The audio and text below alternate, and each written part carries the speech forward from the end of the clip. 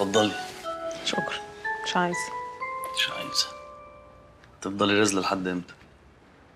ما هي تقولي إيه اللي مضايقك وصالحك ونخلص يا تتعدلي. عشان حواوشي يا كريم. مالك؟ الحواوشي يا كريم الحواوشي ده بتاعنا. بتاعي أنا وأنت بس. أكيد اتضايقت يعني إنك أخدت زفته دي تاكلها حواوشي. اللي هو خلاص فيروز مش فاضية يلا بقى ناخد أي حد تاني عادي. زي زي غيري. طب بذمتك ودينك انت مقتنعة ان انت عندي زيك زي غيرك؟ ما انت خدتها يا كريم تاكلها حواوشي. يا بنتي ورحمة الحمير اللي واكلينها أنا وانت عند بتاع الحواوشي ما خدتها. أنا نزلت من الشركة قلت لها عندي meeting وسبتها ومشيت. وما بتعمل كده ليه قدامي بقى؟ لا يعني كنت عايز اتأكد من حاجة يعني. حاجة إيه بقى؟ كنت عايز اتأكد من حاجة قبل ما اقولها لك يعني. فيروز أنا بحبك.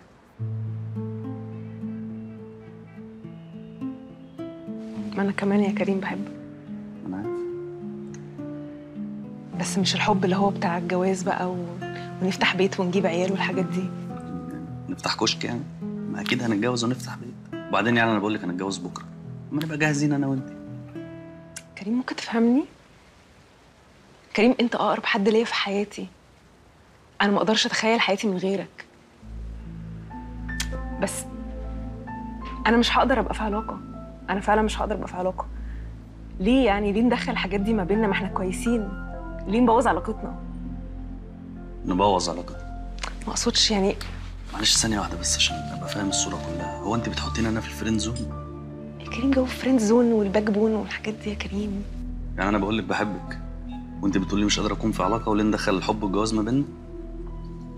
عامة أنا ببقى هتجنن لما بتيجي تحكي لي عن عريس جاي لك ولا حد بيتقدم لك. وما بعرفش أعمل إيه. وما بعرفش أتكلم مع مين. بس أنا تمام. نقفل الموضوع ده ومش هنتكلم فيه تاني عشان علاقتنا ما تبوظش. عشان أنت عشرة عمري. كريم كريم.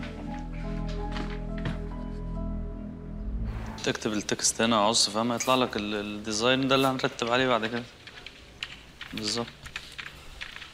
ماشي عص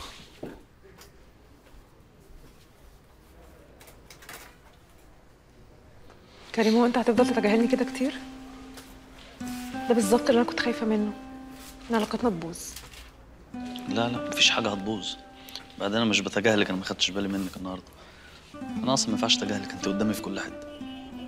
أنت مش سامع نفسك؟ أنت عمال تحط حيطان ما بيننا يا كريم. ده بالظبط اللي قلت لا علشانه هو أنت اللي على راسك بطحة على فكرة أنا ما عملتش حاجة جديدة. انت قلت لي عايز علاقتنا تكمل بس من غير ما احبك. هو ده شكل علاقتنا من غير ما احبك. تلوي دراعي صح؟ خالص. انت اللي مجنونة. آه والله. أثبت لك إن انت اللي مجنونة؟ مش انت دايما بتحكي لي كل حاجة عشان أنا أقرب صاحب ليكي؟ إيه رأيك بقى النهارده أنا أجي أحكي لك عن أكتر واحدة أنا بظبطها وواحدة جديدة في حياتي؟ هتعملي إيه؟ كيكي عاوز أسألك على حاجة. شوف كده الميل اللي بعتهولك. هاي فيروز. آه شفت آه. ركز فيه شفته كويس. هقرا تاني ماشي. شكرا يا مان